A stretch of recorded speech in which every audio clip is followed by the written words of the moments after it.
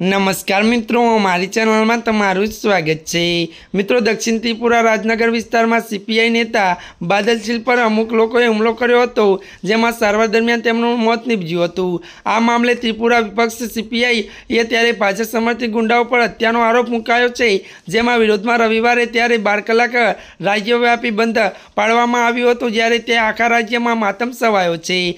ત્યારે પ્રદેશ ભાજપ કહ્યું હતું કે પોલીસે આ મામલે તપાસ હાથ ધરી આવશ્યક કાર્યવાહી કરશે. દક્ષિણ ત્રિપુરાના એસપી અશોક કુમાર સિંહે જણાવ્યું હતું કે સીલ પર શુક્રવારે સાંજે ગુંડાએ હુમલો કર્યો હતો જેની હાલત ઓળખતી નથી. ત્યારે પોલીસ ઘટના સ્થળે મુલાકાત લઈ પૂછપરછ કરી રહી છે. સીલ અગિયાર જુલાઈ પંચાયત ચૂંટણી માટે ઉમેદવારપત્ર દાખલ કર્યું હતું. ત્યારે મિત્રો સીલના પરિવારે આરોપ મૂક્યો હતો કે સીલ પર રાજનગર બજારમાં ચપ્પા લાઠીઓ અને અન્ય હથિયારોથી હુમલો કર્યો હતો. હુમલા સીલના માથા પર ગંભીર ઇજાઓ થઈ હતી. એઆઈજીના ત્યારે અંતદાસે જણાવ્યું હતું કે અગરતલાતના સરકારી જીબી પંત હોસ્પિટલ સારવાર દરમિયાન તેમનું મોત નીપજ્યું હતું. પોસ્ટમોર્ટમની પ્રક્રિયા પૂર્ણ કર્યા બાદ સબપરિવારને સોંપવામાં આવશે. ત્યારે મિત્રો, આજના માટે આટલું જ. અમારી ચેનલને મિત્રો લાઇક શેર અને સબસ્ક્રાઈબ કરી દેજો.